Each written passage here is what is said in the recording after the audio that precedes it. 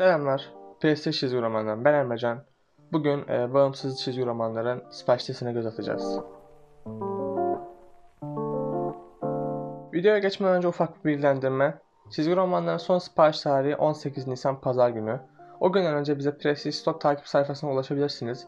Ya da web sitesinden alacağınız çizgi roman kaporasını ödeyerek abone olabilirsiniz. İyi seyirler. E, Boom Studios'a başlayalım. Boom Studios'ta bu ay 3 e, tane yeni seri çıkacak. Biri Basilisk, diğeri Good Luck, e, diğeri de 4 serilik mini seri olacak Save Yourself. Yeni çıkan serilerin içinde iki tane de one shot gelecek Boom'dan. Biri Buffy the Vampire e, Tea Time, diğeri de Power Rangers e, Un... Untitled bilmiyorum ne yazıyor. Age Darkness diye bir çizgi roman gelecek. İkisinin de fiyatı 8 dolar. Öne çıkan serilerde Keanu Reeves'in e, Berserker'ın 4. serisi var. Onun yanında da Buffy the Vampire Slayer'in 26 sayısı var. Çünkü 25. sayıda çok büyük bir Buffy eventi geleceği söylenmişti. Ondan dolayı 26'yı yani bu listeye katmak istedim. Bir de e, Dune'un e, çizgi roman serisi de devam ediyor. 8. sayıda şu an. Eve'in ikinci sayısı çıkacak. E, Firefly'in 30. sayısı çıkacak. Maşallah bayağı ilerlemiş. Firefly'in e, mini serilerinden e, Firefly Brand New Verse'ın 4. sayısı çıkacak. Peach Momoko'nun kapaklarını çizdiği Jim Henderson's e, Storyteller Trickster e, bitiyor. Dördüncü serisi çıkacak. Luna da aynı şekilde biten bir başka mini seri. Magic the Gathering serisi de devam ediyor şu an 3. serisinde. Benim bayağı merakla beklediğim seri olan Many Days of Layla Star 3. serisi çıkacak. Mighty Morphin 8. serisi devam ediyor ve Orcs da sona yaklaştı. 6 serilik mini serinin şu an 5. serisi çıkacak. Power Rangers 8. serisi devam ediyor. Aynı Mighty Morphin gibi ikisi aynı anda çıktı. Beraber devam ediyorlar. Ama hikayeler birbirle paralel devam ediyor mu? Birbirleriyle birlikte devam ediyor mu bilmiyorum. Çünkü okumadım daha. Ee, Protector Valorant 4. serisi geliyor. 5 serilik mini seriymiş. Bu da ilgimi çeken serilerden biri. Seri tamamlandı. Bir göz atacağım. Ve Tom Taylor'ın yazdığı Seven Secrets'ta 9. sayısında şu an. Ve bu listemizin sonuna geliyoruz. Something is Killing the Children 17. sayısıyla hız kesmeden devam ediyor. Spectre Inspectors 5. sayısıyla bitiyor bu mini serimiz. Ve the Final Vanguard'de de devam ediyor 7. sayısıyla. Ee, bunlar benim beğendiğim birkaç tane kapak. Birincisi Basilisk'in varyant kapağı. Diğeri Berserker'ın varyant kapağı 4. sayısının. Ee, üçüncü sıradaki de Buffy the Vampire Slayer'ın e, foil kapağı. E, çünkü foil kapağı da olacaktı. Foil ile regular kapak aynı ama 1 dolar fazla verirseniz foil kapak alabiliyorsunuz. E, Dune'un Gerard Paral Gerard Paral mıydı? Ya Jeff Decal ya da Gerard Paral emin değilim. İkisinden birinin variant kapağını çok beğendim buraya aldım. Bir de Luna'nın variant kapağı çok güzel buraya almak istedim. Bu 5 kapağı. Dark Horse'a devam edelim. Apex Legends'ın 4 sektör mini serisi başlayacak. Black Hammer'ın Reborn isimli Jeff yazacağı yeni bir seri başlıyor.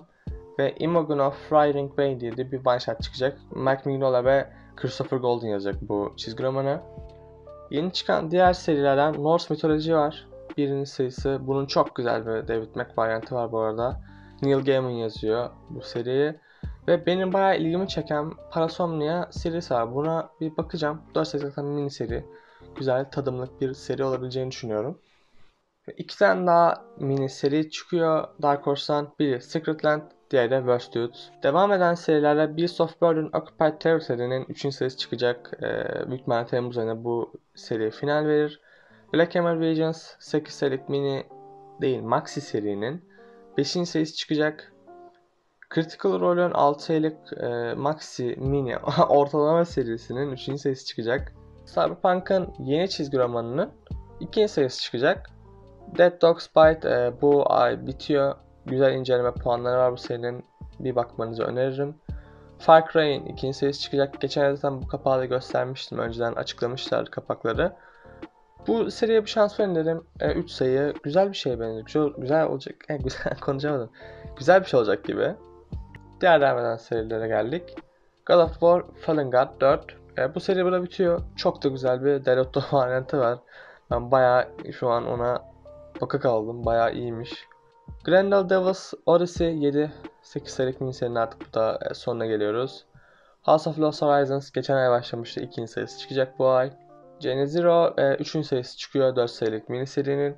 Aynı şekilde Baltimore Witch Queens'te 5 sekli miniseri 4. sayısı çıkıyor. Yani diğer ay bayağı bir final göreceğiz Dark Horse'tan. Final demişken de and the Five Beasts'in 4. serisi çıkıyor. Bu seride büyük ihtimalle ben cilt olarak alacağım. Çünkü Cem e, Stocky çiziyordu galiba. Çizimler müthiş. Yani müthiş. Hadi bunu söylemek istiyorum.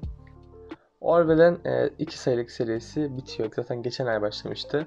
Ve geçen ay başlayan iki tane seri vardı. Rangers of the Wild ve Witcher'ın yeni e, serisi. Bunlar da şu an ikinci serisindeler. Bunlar da bütün auto sayı gibi bitecekler. Dark Horse'un bu şeyini seviyorum. Mini mini seriler çıkıyorlar. Mini mini hikaye. Hemen okuyorsun bitiyor. Hiç böyle beklemiyorsun. Dynamite dizisine hepiniz hoş geldiniz. Ee, burada başlayan birkaç tane seri var. Önce onları göstereceğim. Sonra da diğer devam serilerle devam edeceğiz. Birincisi Dynamite Leaves. Ee, ilk serisi başlayacak Haziran ayında ve çok güzel bir Parallel main cover var. Onun dışında bunun bir blank kapak seçeneği de var. Eğer çizmeyi seven arkadaşlar veya birine çizdirmek isteyen arkadaşlar bu kapağı tercih edebilir. Betty Page, Curse of Banship. Ee, bu da yeni bir seri hiç duymadığım bir karakter normalde ama bir bakacağım merak ettim. Güzel bir A kapağı var ve fotoğraf varyantları da var isterseniz. Bunun da bir blank seçeneği var. Bir tane Vampirella one shot'ı var. Vampirella 1992. Ee, bunun da ben cosplay kapağını bayağı ben normal cosplay kapaklarını beğenmesem de bayağı iyiymiş. Ve burada James Bond'un yanında iki tane Dynamite Edition var. Bunlar birinci olarak listelenmişler galiba ama e, Fax Smile gibi. Biri Red Sonja'nın birinci serisi 1997'den, pardon 1977'den. Diğeri The Boys'un birinci serisi. Ve gördüğünüz üzere zaten James Bond'un dördüncü serisi çıkıyormuş e, Haziran ayında. Bu da yine başlayan bir diğer seri e, Red Sonja 1982. Başlığı değiştirmeyi unutmuşum. Ama e, bu da galiba one shot olacak. Aynı e, Vampirella'da olduğu gibi. 3 tane de kapağı var gördüğünüz gibi. Şimdi diğer devam eden serilerimize devam edelim. Böyle söylemesi garip oluyor ya. Neyse. Invincible Red Sonja'nın ikinci serisi çıkıyor. Ben bu e, serine kapağına bayıldım. Geçen sayıda da bayılmıştım. Yani kim bu çizer yeni çizmeye başladı ama ya arıyorum arıyorum bulamıyorum. Sadece Selena diye geçiyor. Eğer ki biliyorsanız yorumlarda belirtiniz çok belirtirseniz çok sevinirim. Çünkü arıyorum yani. Bayağı sevdiğim işler oldu kendisi şu an. Onun dışında tabii ki de Frank Cho kapağı seçeneği de var. Güzel de bir cosplay kapağı var. Bunun maalesef e, blank seçeneği yok. Vampirella 22 ile devam ediyoruz. E, çok güzel bir Parillo kapağı var ve onun yanında çok da güzel bir Mastrazo kapağı var. Mayer kapağı da fena değil. Çünkü Mayer çok da eksklusif çiziyor derseniz ki ya Mayer'e eksklusif almak çok istiyordum alamadım derseniz Vampirella'nın kapağını tercih edebilirsiniz. Onun dışında bir tane Ertan Gündüz, bir tane de e, cosplay varyantı var. Red Sonja 28. sayısıyla devam ediyor. Burada birkaç tane varyant seçeneği var. Bir de iki tane daha var. D kapak Miracolo ve E kapakta cosplay varyantı. Secret Six yine parayla yapmış yapacağını diyorum. Ve zaten bu sene bolca kapak seçeneği var. Ben e, main'in kapağını da çok beğendim. Sonya Versal 5. sayısı devam ediyor. Burada 3 tane güzel varyant var. Ama benim en çok beğendiğim Sampaio varyantı şu an kendisi benim bayağı sevdiğim çizerlerden biri ve bu seriye en az birer tane varyant çizdi. Hepsi de birbirinden güzel. Ve Cover Henderson, Cover Fed'de Moss varyantı var. Tabi onlar yetmez. Cosplay ve e, Fiu Mara varyantımız da var. Vampirella vs. Purgatory devam ediyor. Dördüncü serisinde şu anda e, çok güzel bir Derek Chu ana kapağı var. E, ilk birkaç sayıda hatta ilk sayıda yani o çizmişler hatırlamıyorsam. Güzel bir e, kapak seçkisi olacak gibi. Onun dışında e, iki tane daha var seçeneği var. Tabi bu yetmez. İki tane daha var. Buradan bu arada e, Musa Bekov adını okuyamadım ama fena bir varyanta benzemiyor. Bayağı beğendim aslında. Ben Yusuf Emperor'ların 19. seri devam ediyoruz. Yine çok güzel bir paralel varyantı var. Ee, ben Oliver'ın da varyantı var ama daha açıklanmadı. Umarım o da güzel bir şey çıkar. Ve bizi iki tane kapak karşılıyor. Biri e, Cover C e, Segovia, diğeri de bir cosplay varyantı. Ve şimdi ağzına kadar dolu bir image listesine geldik. Yeni başlayan seriler mi dersiniz? Bir ayda 4 tane çıkan seri çizgi roman mı dersiniz? İşte hepsi var. Başlayalım image'a. Image'da yeni başlayan serilerde Compass 5 mini seri olacak. Netflix'e dizisi gelecek olan Jupiter's Legacy'nin e, Requiem diye bir 5 serilik mini, seri baş, mini serisi başlıyor. Six Sidekicks of Trigger Keaton da yeni başlayan seriler arasında. Onun dışında 6 serilik bir mini seri başlıyor Vinyl. Ve e, Spawn Universe'de Haziran ayında başlıyor resmi olarak. Spawn'ı kaçırmayın derim. E, Eric Larsen'in yazdığı End 12. sayısında devam ediyor. Crossover'ın 7. sayısında e, birkaç değişiklik var. Yazar Ronnie Case değil bu çizgi roman için Chip Zdarsky. Bu bakalım nasıl olacak merak ediyorum. Çıkınca göreceğiz. Firepower'ın 12.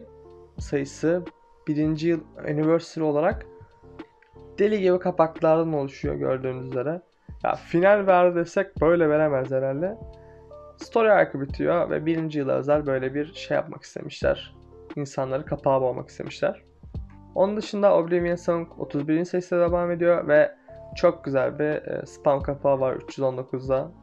Zaten spam üniversitede bağlantılı olacağı için yanlış hatırlamıyorsam bağlantılı olacaktı. Buraya almak istedim. Devam eden diğer önemli serilerden Birthright 50. sayısında e, final veriyor. Commander Sin Crisis e, yeni ark başlıyor burada. Deep Beyond içine geçerli yeni bir ark başlıyor. Seriye girmek isteyenler buradan girebilir gönül rahatlığıyla. Ve Homesick Pilots'ın da yeni bir story arcı başlıyor. Dead Texas Blood'ın da yeni bir arcı başlıyor. Buraya Askender'ı da eklemek istedim. E, çünkü Askender'de geçen ay başlayan, devam eden serilerden biriydi. Yaklaşık o da yeni başlayan arklardan sayabiliriz. Bitterroot 14. sayısı devam ediyor. Department of Truth 10. sayısı devam ediyor. Ve Deadly Class'ın 47. sayısı çıkacak Haziran ayında. Bu arada Deadly Class'ın çok güzel bir e, varyantı var. Jeff Decker olması lazım. Devam eden diğer serilerden Die 17, Giger 3 ve Good Asian'ın ikinci sayısı var. Bu arada Giger'ın ilk sayısı bayağı değerlendi. Şu an çıkmış olması lazım yanlış hatırlamıyorsam. Yani değerlendi yani. Çıktı ve değerlendi evet, evet doğru hatırlıyormuşum. Haha be, bitiyor. E, herkesin bayağı beğendiği, yüksek puanlar aldığı Haha'nın 6. serisi Haziran'da çıkıyor. Ve bu güzelin mini seri final veriyor. Headloopers 16. serisi devam ediyor. Helm Grayscale'da sona yaklaşık 4 sayılık mini serinin 3. sayısı geliyor Haziran ayında. Home 3. sayısı çıkıyor. İlk sayısı bayağı e, güzel puanlar aldı. Kesinlikle bakacağım bir seri bittiği zaman.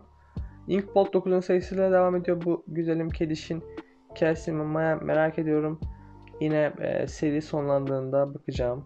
Çizgi romanlardan Jules Verne Lighthouse'da 3. sayısıyla devam ediyor. Carmen'in 4. sayısı geliyor. E, bu da çıktığında fena e, puanlar almadı.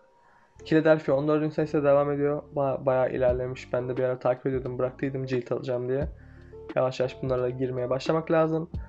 Lazarus Rising da e, 6. serisiyle devam ediyor. Burada iki tane büyük yaşlı tecrübeli serinin yanında mini 6 sayılık seri var. Made in Korea 2. sayısında ve yanında kocaman manifestesinin 44. sayısıyla Monsters'ı 35. sayısıyla çıkıyor. Bir diğer babalardan Moonshine 26. sayısında Noctera son dönemde çıkan iyi serilerden daha göz atmadım ama e, puanlar ve incelemeler bayağı iyi. Old Guard Sail Through Time'da 3. serisiyle devam ediyor. İlk serisi güzeldi. Umarım bu da iyidir. Radiant Plague 5. serisinden Savage Dragon'da 261. serisiyle devam ediyor. Tabi Scumbag'i de unutmamak lazım. Remender'ın yazdığı bayağı iyi bir seri. Tavsiye ediyorum. Bir göz atın. Shadecraft. E, Shadecraft'ın da bir ses çıktı okudum ve bayağı iyi. Çizimleri de öyle. Zaten Netflix'e çıkacak.